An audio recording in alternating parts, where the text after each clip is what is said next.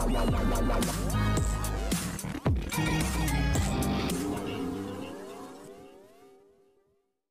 Hello everyone you are watching serial Siyapa जहाँ पे मिलती है एक्सक्लूसिवली आपको आप ही के फेवरेट शो से जुड़ी जानकारी।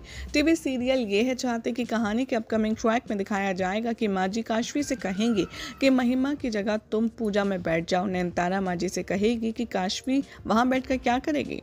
माँ जी कहती हैं कि ये जो शादी का प्रपोज़ल है, ये टूट जाएगा और सारी चीज़ें बर्बाद हो जाएँगी। काशवी तुम जल्दी से कपड़े पहन लो महिमा के और घूंघट लगा लो और तुम सारी सेरेमनीज को परफॉर्म करोगी।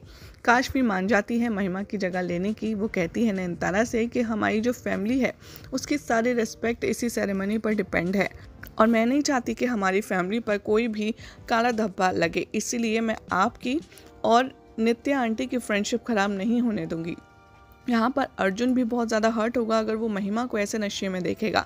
मैं एश्योर करती हूँ कि मैं वहाँ पर बैठूँगी पूजा में क्योंकि मैं जानती हूँ कि मेरी माँ सबसे स्ट्रॉन्ग है और वो सब सही कर देगी। थोड़े टाइम के बाद नैनतारा घर को डेकोरेट करती है, तभी सम्राट उसकी मदद करता है, वो देख उसे शौक हो जाती है। यहाँ पर दोनों के बीच में थोड़ा सा रोमांटिक मोमेंट आपको देखने के लिए मिलेगा। तभी नैन पूछती है कि तुम यहाँ क्यों आए हो?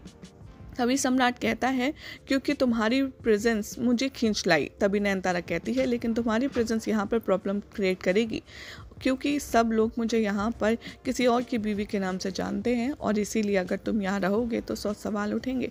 तभी माँ जी की आवाज़ आती है और वो उसको रिचुअल्स के बारे में बताती है और वो कहती है कि महिमा की कंडीशन नहीं है रिचुअल्स परफॉर्म करने की, इसीलिए हम काशवी को तैयार कर रही हैं।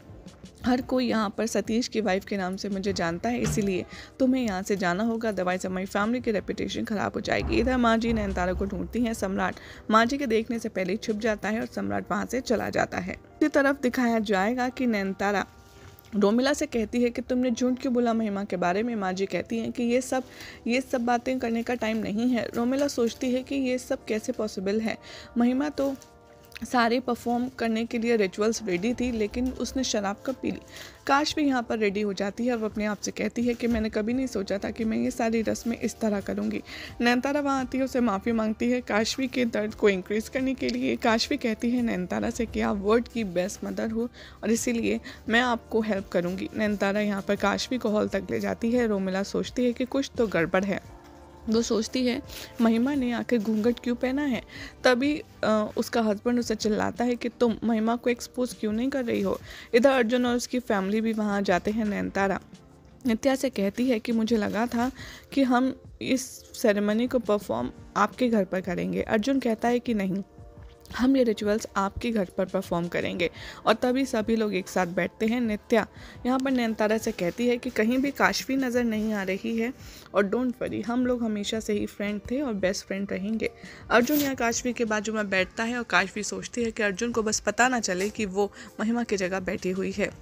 इधर वो अज्यूम करती है कि जैसे वो महिमा से बात कर रहा है और तभी उसको अपोलोजाइज़ करती है वो माइंड में। इधर जो अर्जुन है, वो उससे कहता है कि तुम स्ट्रेस मत लो, मेरी आँखों में देखो और वो जैसे ही उसका घूंघट हटाने वाला होता है, तभी माँ जी अर्जुन को रोक देती हैं और कहती हैं कि हमारे यहाँ पर जो दुल्हन है, उसको घूंघट पहनना होता है और मौन व्रत रखना होता है जब तक शादी ना हो जाए। और यही हो जाएगा आज के एपिसोड का एंड जिसके बाद कल क्या होगा, आपको बताएँगे नेक्स्ट रिपोर्ट में। ऐसी मज़ेदार अपडेट्स के लिए चैनल को सब्सक्राइब कीजिए वीडियो को लाइक शेयर करना ना भूलें।